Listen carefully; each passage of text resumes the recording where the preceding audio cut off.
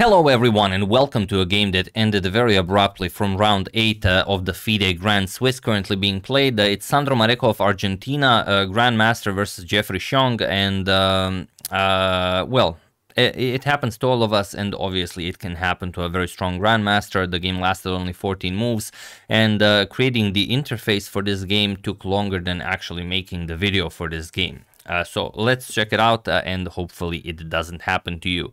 So Sandro opens with d4. We have pawn to d5, c4, and d captures on c4. Okay, the queen's gambit accepted is on the board. Knight f3 and now pawn to a6. Knight to f6 is the main move to uh, counter it. a6 is the second most popular. We have e3 and now knight to f6. Uh, guarding with b5 will run into the usual a4 b5, the challenging of the pawn chain. So after e3, knight f6, uh, we have bishop captures on c4 and now pawn to e6. All right, all very standard stuff. We have castle c5 and now pawn to b3. This is like the sixth most popular continuation. Capturing on c5 is the main move. So b3 and knight b to d7. We have bishop to b2 and now bishop to e7. Uh, bishop goes back to e2 and now we have castles. Knight b to d2 uh, and now pawn to b6 preparing to fianchetto the light square bishop. Knight to e5 and bishop to b7 and this is where the magic happens. Bishop to f3, of course countering the strong light square bishop, and queen to c7, nicely defending it. And it is now, uh, as of move 12 already, that we have a completely new game. So uh, move 12, completely new game. Move 14, game over. Uh, here, uh, rook to c1 was played, uh, nicely aligning the rook with the black queen. And here, black played knight captures on e5. And you have only one good response to knight captures on e5, and that is to capture the knight on e5 with the pawn. d captures on e5 is the move you should play. And after the knight moves, then you continue with something like a3. You stop knight to b4, then rook comes to d8, and maybe uh, aligns itself with the queen, queen to e2, and so on. The game continues. Uh, but after knight captures on e5, bishop captures on b7 was played, and here Sandro uh, obviously mixed up his lines, or, or maybe it was just uh, an oversight, but uh, it is uh, here that you have a completely winning position if you find what went wrong. So feel free to pause the video and solve the position for black, or if you've seen the thumbnail, you can also use that from your, your you know, uh, storage in your mind.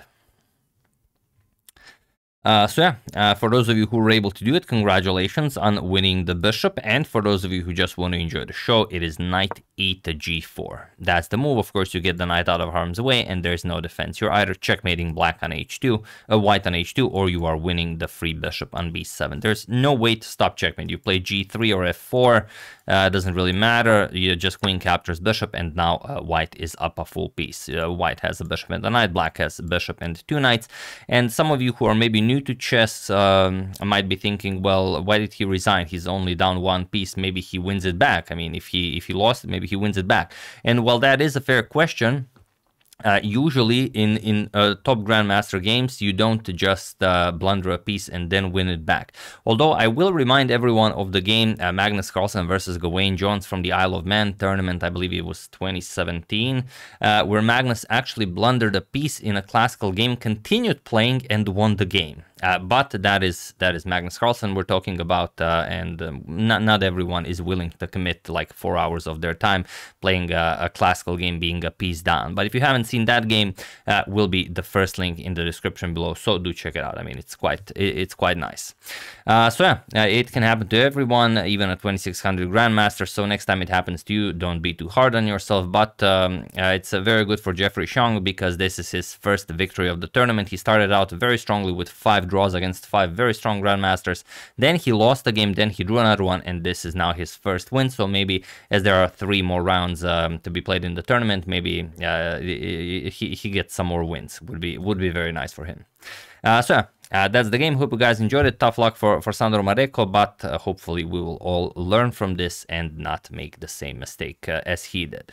Uh, so yeah, once again, really hope you enjoyed it. Uh, I would like to thank Stephen McCann, uh, Chess Beats League, Roman Manini, Sam's Giant Tortoise Farm, and Marvin Sparrow for a contribution to my channel. Thank you a lot. I really appreciate it.